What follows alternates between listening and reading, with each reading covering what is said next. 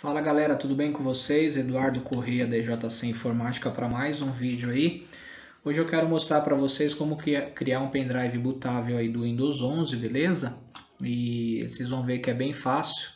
Vamos usar aí o programa Rufus, tá? Que é um ótimo programa para você criar pendrives bootáveis aí de qualquer sistema operacional. E eu vou deixar no link a descrição aí, tanto do Windows 11 é, versão já em português, tá galera?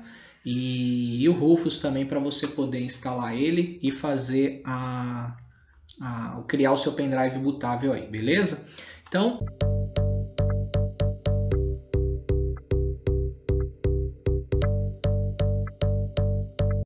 é, vou aqui na minha pasta de download, já baixei o Rufus, tá? Vou clicar duas vezes nele aqui, vou clicar em sim, né, para ele fazer a instalação. É, tá falando se, ele, se eu procure atualizações na internet, por enquanto não, tá? Ele já abriu aqui, galera, a minha janela de instalação do, do, do programa Rufus, tá bom? Aqui eu tenho essas duas pastas aqui. Quando você fazer o download do, do Windows 11 que eu vou deixar lá, ele, ele vai criar essa pasta aqui, ele vai baixar para você essa pasta aqui compactada, zipada, tá galera? Aqui eu tenho o WinRAR instalado, para quem não tem, não tem segredo nenhum, entra no Google lá, digita download WinRAR, faz a instalação, beleza? Quando você tiver com o seu WinRAR, se você não tiver, você vai ter instalado, com o WinRAR instalado na máquina, que é, é o que eu acho mais fácil para usar, e depois de ter baixado a sua ISO aí, você vai clicar com o botão direito em cima dela e vai clicar aqui na pastinha, ó, extrair para o Windows 11 PTBR, beleza? Quando você ele terminar de fazer a extração, galera, ele vai criar essa pasta com o mesmo nome, ok? É, você clicando duas vezes aqui, eu descompactei ela duas vezes, mas de, quando você descompactar a primeira vez aqui o arquivo zipado, ele vai é, abrir para você essa, esse arquivo ISO aqui ó, do Windows 11, tá? Essa pasta aqui de 4 GB 250 MB, beleza? Vou te mostrar aqui para vocês, ó, esse arquivo bem grande aqui de 4 GB, tá? É com essa ISO, com esse arquivo que a gente vai criar o nosso pendrive bootável, beleza? Então vamos lá. Aqui eu já tenho um pendrive que eu já renomeei ele como Windows 11, beleza? Então a gente precisa vir aqui na aba selecionar para encontrar a nossa ISO. A minha ISO do Windows 11 ela está aqui na área de trabalho, você tem que ver onde você baixou, descompactou ela, já tem a minha pasta aqui, cliquei duas vezes, ele, o arquivo já está aqui, galera, ó, meu arquivo ISO, vou clicar em cima dele, vou clicar em abrir, beleza? O Windows 11, ele é recomendável, ele é, é feito aí para ser é, instalado em esquema de partição GPT e o sistema de destino UF, né? É, tem o sistema Legacy, o Windows, ele, o Windows 11 ele é recomendado para o F. Se você quiser é, instalar ele em, placas mães com Legacy, aí você vai precisar mudar aqui para MBR, tá? E aqui no F você vai, é, quando você muda aqui para MBR, ele automaticamente muda aqui para BIOS ou o, F, o FSCSM, que é para quem quer instalar para o é, para placas mães com, com, com destino legacy, tá galera? No nosso caso aqui vamos deixar GPT mesmo, que a gente vai instalar ele em, em máquinas mais novas, tá? Vamos deixar o F, beleza? Só isso, você vai clicar aqui em iniciar, ele vai falar que todos os arquivos que estão no seu pendrive serão apagados, é, se você tem arquivos lá, não esquece de, de fazer um backup antes de formatar ele, podemos dar um ok aqui, tá galera? E aí ele tá lá apagando as partições, criando o sistema de arquivos, né? Copiando os arquivos e por aí vai até chegar no 100%, beleza? Eu vou dar um, um pausa no vídeo aqui, quando ele tiver terminado eu mostro para vocês e vou entrar na tela de instalação aqui do desse notebook da Samsung aqui para a gente ver se deu certo a, a criação do nosso pendrive bootável, beleza? Pronto, galera, ó, ele já terminou aqui, já fez a, o término do, da criação do nosso pendrive, tá? Vamos clicar aqui no, na biblioteca, este computador. E ele já criou aqui, ó, o jogou o nome aqui, né? E aqui já tá os nossos arquivos de instalação de boot do Windows 11, tá? Eu vou gravar agora, é, entrar na BIOS desse, desse Samsung aqui vamos ter certeza se ele está bootando corretamente, se deu certo o nosso, a, a nossa criação do pendrive, beleza? Fala galera, tudo bem com vocês? Eduardo Correia da IJC Informática para mais um vídeo aí pro canal. Tá, hoje eu vou mostrar aí para vocês como fazer a instalação do, do Windows 11, tá?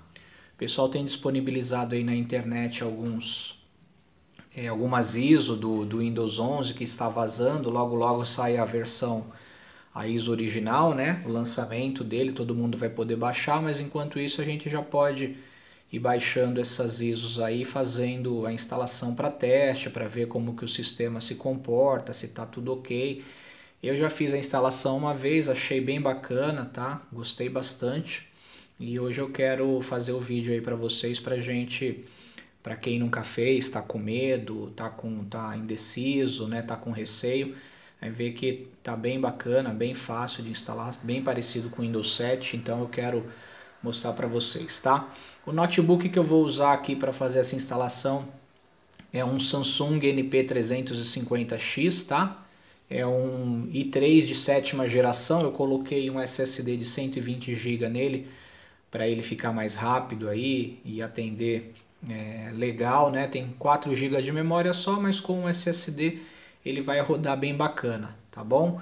Então vamos lá, eu tô com o meu pendrive aqui, ó, meu pendrive de 16 GB que eu baixei a minha a minha ISO do Windows 11 em português, vou colocar aqui na porta USB, vou ligar a máquina, e vou nesse notebook aqui, é o F2 para a gente entrar no setup, tá? Depois que a gente entra no setup, galera, a gente vem aqui na aba boot. O Secure Boot aqui, Control, precisa estar tá ativado, tá? Porque esse pendrive ele tá naquele formato UFI, né? Então a gente vem aqui em Boot Device. Aqui ele já tem o Windows instalado no, no, no, no primeiro boot primário aqui. Eu vou alterar para o meu é, pendrive, que é esse generic flash disk aqui, tá? Então o primeiro boot tá aqui, generic flash disk, vou salvar, vou dar um OK e ele vai reiniciar a máquina e vai é, começar a fazer a entrar no, no, no, modo de instalação aí do Windows 11 que é bem parecido com o Windows 10, tá galera? Não tem é, muito segredo. Quem já instalou, quem está acostumado a instalar o Windows 10 aí, vai ver que é bem bacana, é bem legal. Como ele está com SSD, ele vai é, correr bem rápido aí, mas na parte que ele estiver instalando e copiando os arquivos eu vou dar uma pausa, não preciso gravar tudo isso e vou sempre estar tá voltando nas partes mais importantes do vídeo aí, tá bom? Então ele já cai aqui na, na janela de instalação do Windows, tá? Pode ver que o Windows está, é, essa ISO está em português. Aqui o teclado vamos alterar para ABNT2, que é o nosso teclado aqui com C cedilha desse Note, dá um avançar, podemos dar um instalar agora aqui, aguardar um pouquinho que ele vai para a próxima, a próxima tela, que provavelmente acho que é a do, do aceitação do contrato, né? Vamos ver. Ah não, ele pediu a chave, como é uma é uma, é uma versão de demonstração, de testes e tal, então nós ainda não temos a chave, podemos colocar aqui não tenho a chave do produto para continuar, beleza? Vamos clicar aqui em aceitar o contrato, avançar. Como eu vou fazer uma instalação limpa, pessoal, vamos sempre em personalizada, tá? A gente vai apagar o que tem aqui nesse HD ou no SSD, no caso aqui é um SSD. Então podemos vir aqui e excluir todas as, as partições que tem aqui, tá? Pode vir excluindo tudo. Isso se você já tiver o backup ou se você tem certeza absoluta que você não precisa nada que tem aí no seu HD ou no seu SSD, tá? No meu caso eu não preciso, então apaguei tudo e vou dar um avançar. Então agora ele vai entrar na tela de copiar os arquivos, instalar recursos, atualizações. Eu vou dar um pause aqui e quando ele cair na, na segunda parte da instalação eu volto. Então galera, voltamos aqui para a segunda parte, tá? Ele já está na segunda parte da instalação, onde ele vai começar a pedir os dados aí, as perguntas para a gente continuar a instalação do Windows. Então, como vocês podem ver, o Windows 11 aqui está em português, né? Então ele pergunta qual a região, vamos colocar aqui o país ou região Brasil.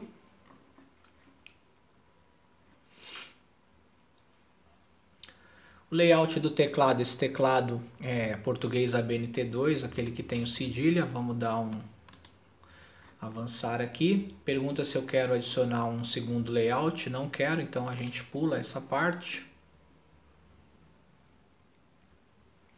Agora ele pergunta se eu quero conectar na minha rede. Eu tenho Wi-Fi aqui, galera, mas eu vou dar não, porque se eu colocar assim ele vai pedir conta Microsoft, várias coisas. Vamos deixar isso para segundo plano, tá?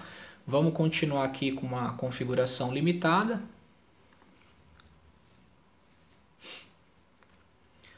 Quem usará esse dispositivo, esse dispositivo, vou pôr aqui Edu, vou avançar. Ele quer quer que se, se pergunta se eu quero colocar uma senha, não. Vou avançar também. Agora ele começa a fazer aquelas perguntas, né? É, permitir se a Microsoft é, quer é, usa os apps, usa a minha localização aqui. Vou colocar não, eu sempre coloco não em todas as perguntas aqui, tá galera? Ele tem a opção lá se você quer que localize o dispositivo, como o celular, o Android, o Apple. Se você quiser colocar sim, mas eu coloco sempre não em tudo aqui, tá? Mas se você quiser colocar sim, aceitar qualquer uma dessas opções aqui, não tem problema nenhum. Então agora ele já vai para a fase final da instalação, tá? Então tá lá, estamos preparando tudo para você. Isso pode demorar alguns minutos, então vou dar mais um pausa aqui. Quando ele cair na área de trabalho, eu vou falar um pouquinho aqui do, do Windows 11 para gente, beleza? Fala galera, tô aqui agora com o meu Windows pré-configurado, já fiz algumas configurações, tá? Achei bem bacana esse Windows 11, tô gostando bastante, tá? Apesar de fazer pouco tempo que eu tô mexendo nele. Já fiz a instalação de alguns aplicativos aqui, né? Que eu gosto de usar. É, o Chrome, Firefox, o TeamViewer, né? E alguns programas básicos aí, só para ver. A instalação é bem parecida com o Windows 10, tá? e eu vou, te, vou mostrar para vocês aí algumas é, primeiras impressões que eu tive aí com ele para mostrar para vocês, tá galera? Se vocês olhar aqui no cantinho, vocês vão ver que os ícones aqui é, que ficam ao lado do relógio aqui do Wi-Fi, eles mudaram um pouquinho, tá?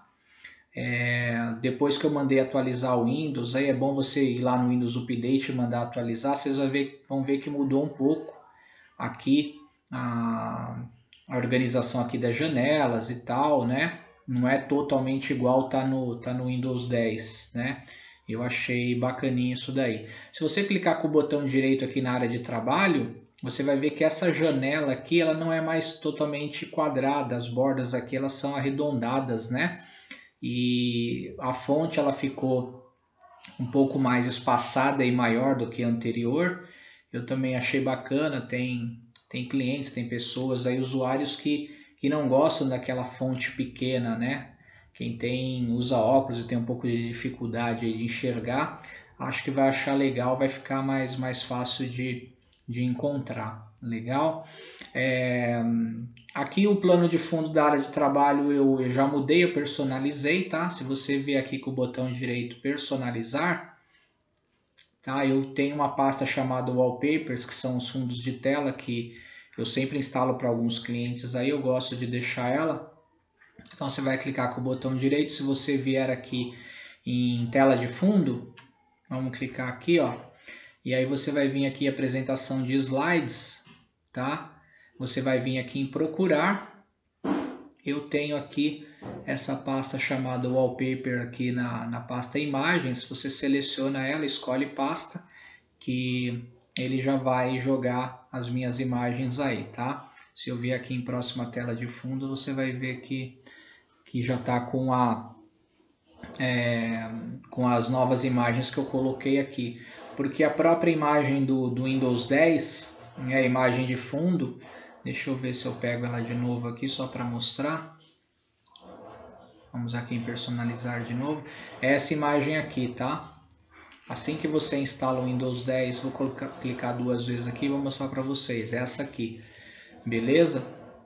Outra coisa bem bacana é que o menu iniciar, se você clicar aqui na janela do Windows, agora ele é centralizado, tá? Ele não é mais aqui do lado esquerdo que nem no Windows 10. O Windows 11 ele, é, ele mudou isso daí.